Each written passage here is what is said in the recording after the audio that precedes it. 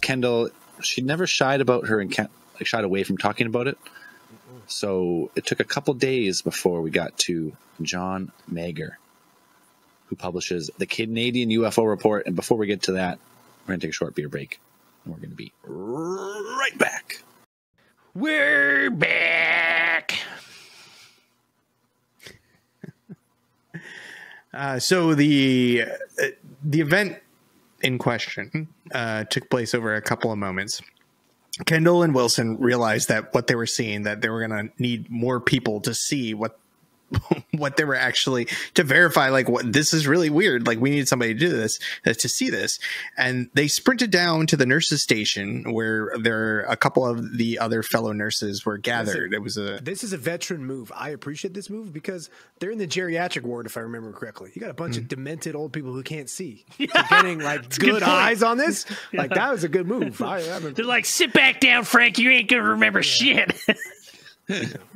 Uh, so they brought in, uh, in addition to themselves, they brought. Is that Jesus? Take me home. I'm ready.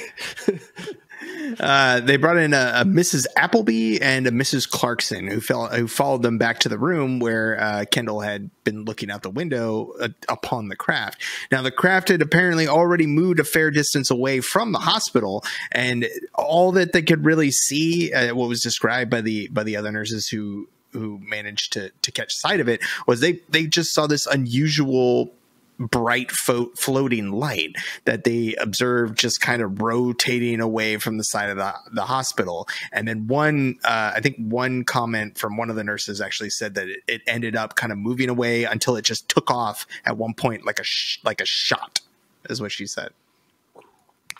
Yeah. Blast off. They obviously fixed whatever it was fucking going on. yeah. Oh, there we go. That's one. That was good. Uh, so, what what's there interesting about? oh shucks. Uh, one of the interesting uh, aspects of this case is that Kendall didn't really shy away about the the event in question. Like it, it, said that she even she penned it down in the logs for the hospital about yeah. what she saw. She charted and, it. Yeah. She charted it in the nurse's notes. Uh, she wrote it down like uh, five was it five fifteen a.m. Yeah. Saw flying saucer. Yeah. Just just just very the future very Mr. clinical. yeah. Very clinical, very just like you write it in there. Like I, you know, I've, I've written logs in the Navy, and it just sounds like something you would pen down, and you just be like, da, da, da, you know, saw UFO, and then right under that, be like, you know, main turbine pressure, 50, you know, 170 psi, blah blah blah. it would just be something you just write in there in between those, and like. Uh, like fucking core oil temperature or something. Like you just write it in there. Saw UFO. Wait, what? you saw what you say? Um, so she actually says, and uh, apparently she she didn't really. People who asked about it, she she told everybody. She was telling everybody who um who asked about you it. Wouldn't believe I saw the two handsomest spacemen I ever did see. um, yeah, she seemed happy to to talk about it, um, but the, the the report didn't really get any traction in terms of media coverage until like several days uh, later, um, where the Victoria Daily Times uh, actually um, actually picked up the story uh, after it had been brought to the attention of one John Magor Magor. Magor. Make sure Magor. you really, really, get the pronunciation of of Maple uh, Maple Bay, uh, British Columbia, who edited and publishes, as Zell said before, the Canadian UFO report. Canadian UFO report. I'm pretty Very sure that's respected. how. Which I, which I assume respected. is like the Canadian. Is that like the Canadian it's the best version of any UFO report of the APRO, Is like it like the country. APRO bulletin, which yeah, used to be? That's, the, that's the main the paper. That's that's the Canadian Cosmopolitan. Yeah. Everyone sees it. It's Weekly. Everybody's mom's is Canadian National Geographic. Yeah. yeah. It's, it's, our everywhere. Time magazine. Yeah, it's everywhere. Everyone, mm-hmm. every every Canadian dreams to be on the cover of Canadian UFO report. Canadian UFO too, magazine. Like men's health. Written, edited, and published by one person. Like just jacked in like in your yeah. skin tight uniform.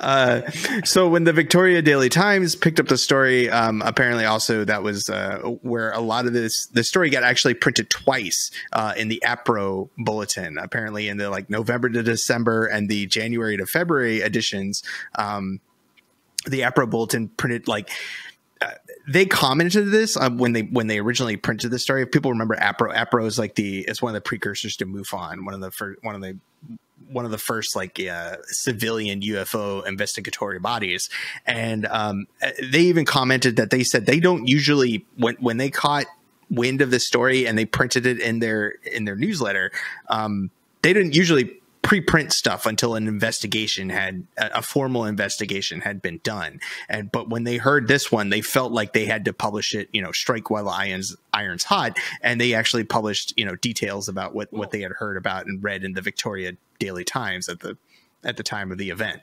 And i think that's because of there's certain professions that when they report these things i think just get more respect for coming out with these. And i to be honest i think nurse is one of them. Like when you say this is a nurse that reported this because these people are in charge of taking care like of of you know, the health and welfare of others.